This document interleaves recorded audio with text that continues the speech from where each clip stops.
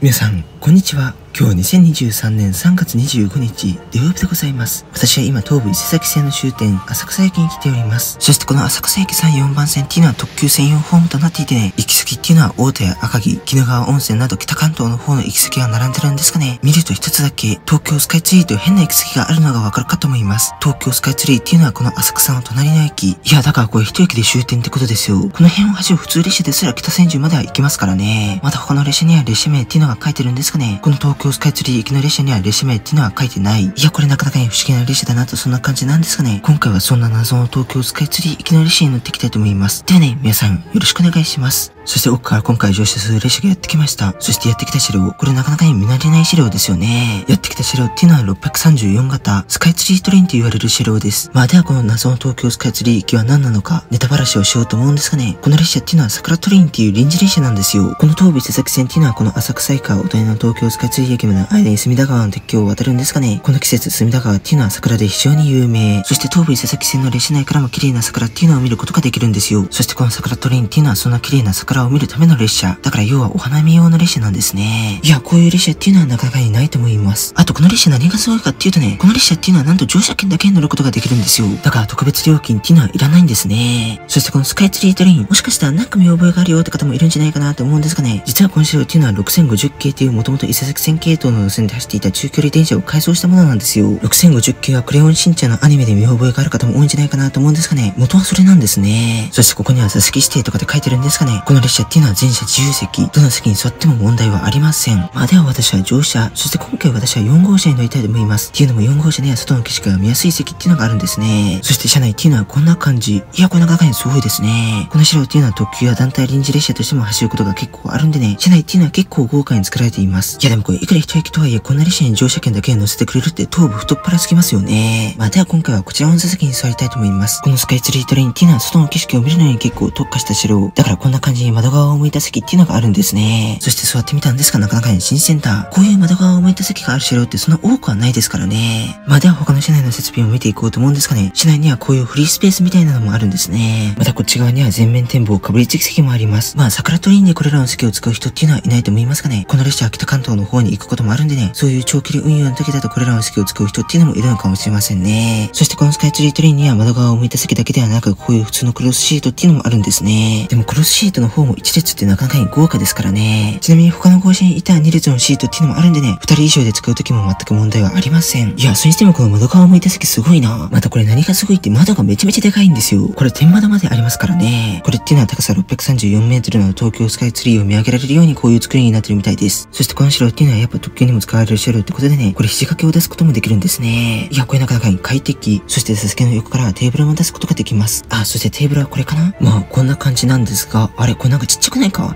うこれこんな感じなんですが、こうちっちゃいよね。これほんと飲み物が起きるぐらい。これ仮に飲み物置いてなかったとしても弁当とか置くのちょっと怖いですよね。ちょっとちっちゃすぎて落としちゃいそう。いや、ほんとこれテーブルは小さかったですね。そしてこれ面白いのがね、この窓側を向いてすぎっていうのもこれリクライニングを倒すことができるんですよ。言ってもこれ特急とかに使われる車両だからね。そしてリクライニングニングっていうのはそんなに深く倒れるわけではないですかね。でもこういう窓側を向いてる席でリクライニングがついてるのは非常に珍しいんじゃないでしょうか。いや、これはなかなかに新鮮だ。私も席が窓側を向いている電車なら乗ったことありますかね。さすがにそういう電車でリクライニングを倒したことはないですからね。いや、これっていうのは結構珍しいと思います。そして列車は結構浅草駅で停車してたんですかね。ついに浅草駅を発車するみたいですよ。そして列車は浅草駅を発車。そして次の停車駅っていうのはもう終点の東京スカイツリー。いや、これなかなかに面白いですよね。まあでは今回は東京スカイツリーまでノーカットでお見せしたいと思います。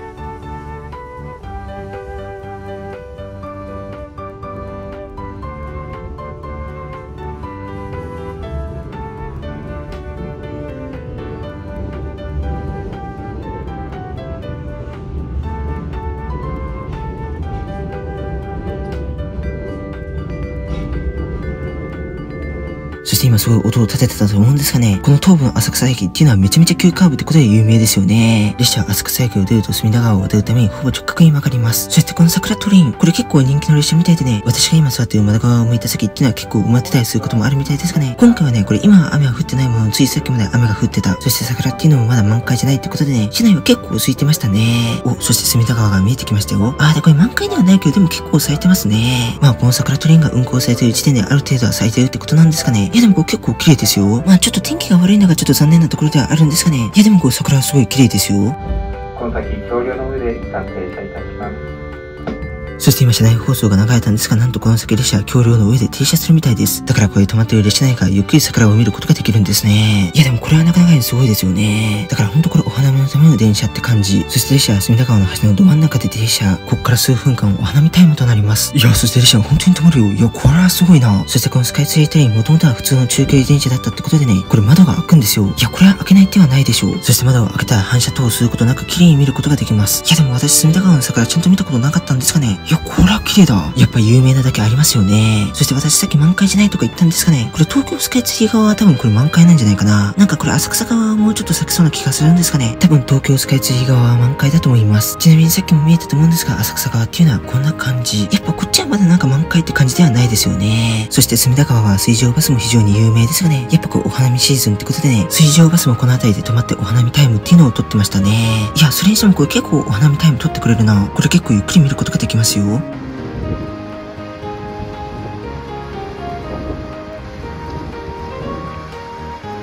は、まなく東京スカイツリーに向けて発車いたします。先のお客様はご注意ください。電車が通ります。そしてこれ時間にしてこれ多分まあ2、3分とかそんぐらいですかね。結構お花見タイムっていうのを取ってくれたんですかね。列車はついに発車するみたいです。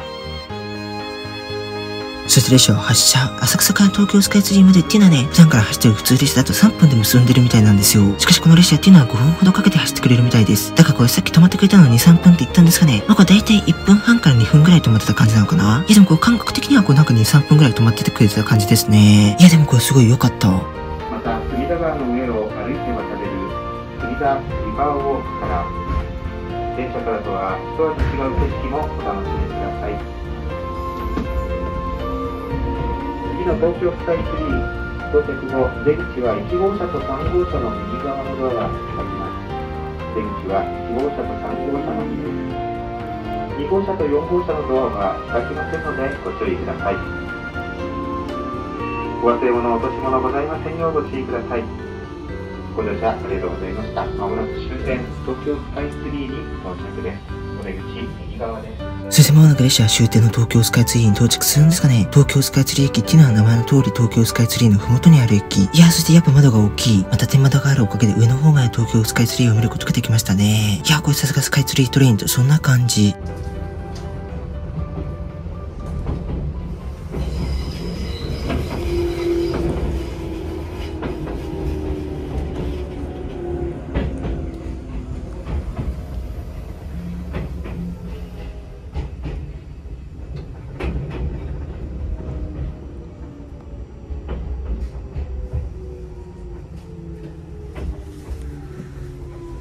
そして浅草駅から約5分、列車は終点の東京スカイツリーに到着。いや、そして短い間だったけど楽しかった。列車は終点の東京スカイツリーに到着。そしてここまで乗ってきた列車っていうのはもう回送列車となるみたいです。そしてさっき浅草駅でお見せし忘れてたんで今お見せしますがね、今回行き先表示幕っていうのは臨時幕でしたね。まあでは最後にここまで乗ってきた列車を見送りたいと思います。